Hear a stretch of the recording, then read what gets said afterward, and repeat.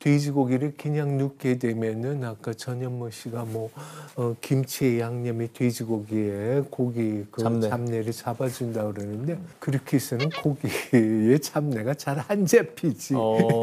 조금 더 제 방법을 얘기를 하자면 어, 고기를 갖다가 양파하고 생강하고 후추하고 소금 조금 밑간 정도에서 물을 자 작하게 붓고 먼저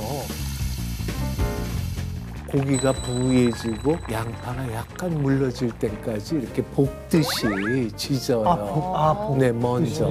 그 다음에 이제 김치를 썰어 넣고 물을 자작하게 붓고 한 번 끓여서 김치도 물끓여질 때쯤 불을 있는 데를 딱 줄여서 한 20분, 30분 있으면 이제 김치찌개가 잘 물러져. 오.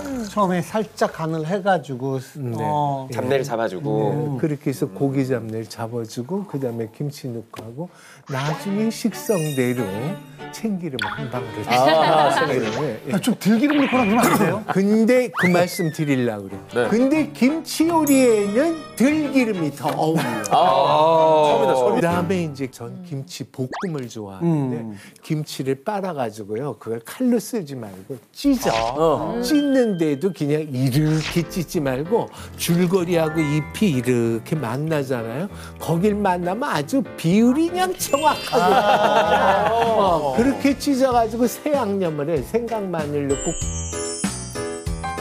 고춧가루 조금 넣고 해가지고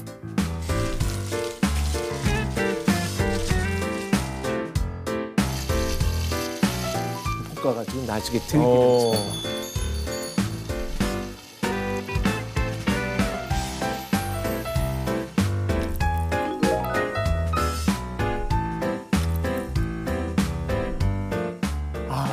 아, 이거 다음 밥에 척청아 이렇게 그래서 먹으면 어, 근데 가운데를 자꾸 찢으면 더 잘 네, 찢어지거든요. 어. 위에서 자꾸 보면은 항상 이렇게 찢- 그쵸, 그쵸, 뭐가 이렇게 어, 그렇구나.